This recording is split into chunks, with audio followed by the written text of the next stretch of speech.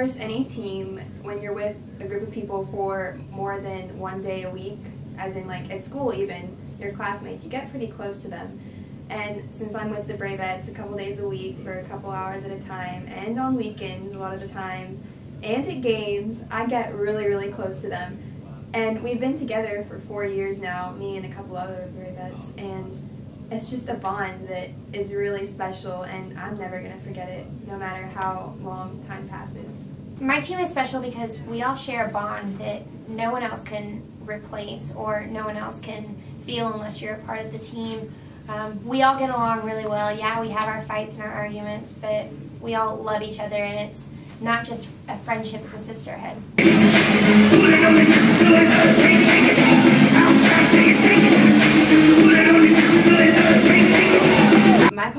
my team, I think, is a pivotal role because I am captain of our, the Bravette team this year. Um, I would say that I kind of watch over everybody, make sure everybody's on their P's and Q's at all time, whether we're in uniform or not. Um, a lot of people come to me in confidence to tell me things they may be nervous about, worried about. So I take my captain job or role on the team very seriously as kind of like a mom inspiration type of thing to all the other teammates on my team. I think the part I play on the team, I'm the mommy of the team because I do um, hair and makeup for the majority of the girls. They all ask me, and they all ask me to get there earlier. So normally before games, I get there about 30 to 45 minutes earlier just to do their hair and makeup.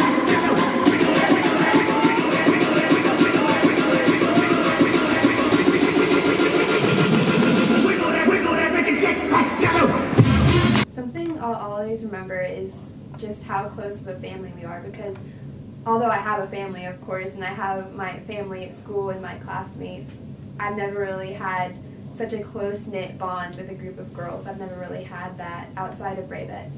And so it's really something to remember and something that I can hopefully pass on to another group of girls when I grow up in life.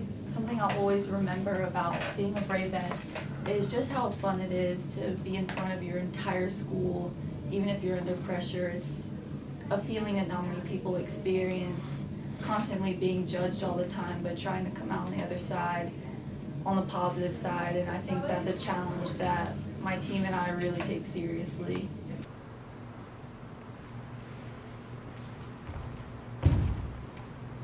Well, our my junior year, um, we actually did a pep rally. Instead of being girls, we dressed up as boys, and we were the Backstreet Boys, and that was really fun. That was actually the pep rally I was most nervous for. I'm not sure why, because we were dressed up as boys, but it was probably the funniest thing because no one actually knew we were Bravettes until they announced that we were actually Bravettes dressed up. Well, at camp, we go to a summer camp every year, and we are there for three days to learn dances. But in between practices and rehearsals, we um, go back to our dorm room and we all get to spend time together. That's where the bond is formed.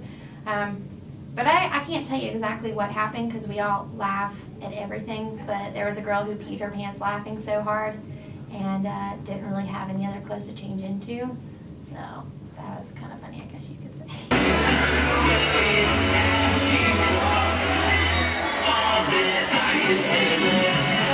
Um, my teammates are all really encouraging of each other and really sweet and funny.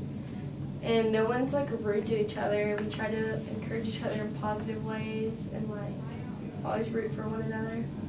My teammates are crazy but awesome at the same time.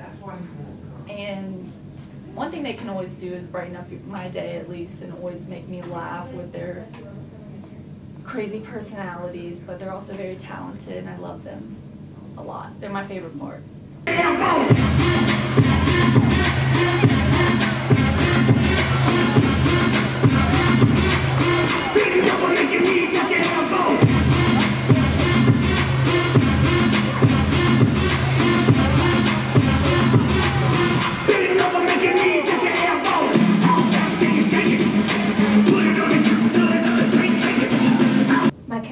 Um, Marla is one of the hardest working women that I've ever met. She is so dedicated not only to her job but also to Bravettes.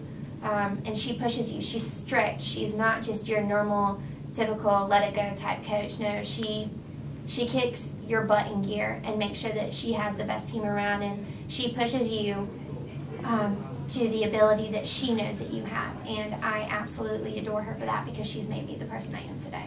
Um, my coach, Marla Sage, has been my dance teacher since I was two years old. Um, she's an inspiration to me, not only to me, but also to my teammates. She's been coaching Bravettes for 23 years and she does not get paid anything for it.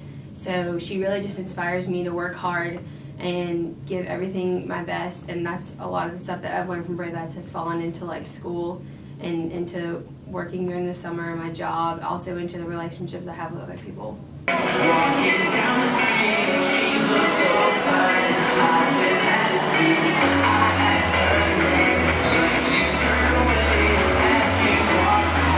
if you wanted to join Bravettes, you should definitely do it because we accept anyone.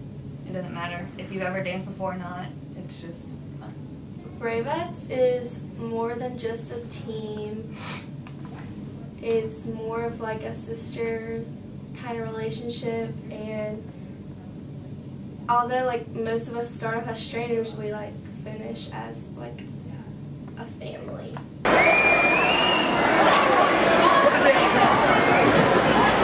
My future in Bravettes is to finish out my senior year strong and then hopefully with all the skills I learned with Bravettes I can successfully make a college dance team which most senior Bravettes do so that's my goal.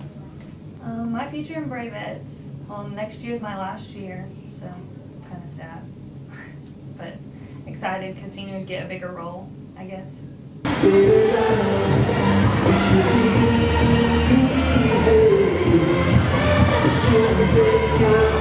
My coach, every practice, I know everybody's coach probably says this, but she says, okay, we're doing it until you guys give 110% effort. And it's really something important. Like, I hear it every day, so it's not something I think about, but now that I think about it, 110 effort is something you should give every day, everything you do. It's not just something you, oh, I'll just give 50% this time because I'm tired. She really makes us understand and believe that it's important to give your all in everything you do. Not just that one dance we're doing that night, but in everything. And I think that's something I've learned from being on Bravettes. So something inspirational that um, I would say Bravettes has taught to me or taught to our whole team is that we're all there for the same passion to dance, but we're all there for one goal. So when we dance, we move as a team. We dance as a team. Our steps are as a team. We're not individually doing the dance. We do it together towards a common goal, which is either supporting our Braves in a basketball game, a football game, or dancing at competition during the summer, or at a competition another school would host. But I would say the most inspirational thing is that we do everything together. We may have our differences, but in the end, we dance as a team.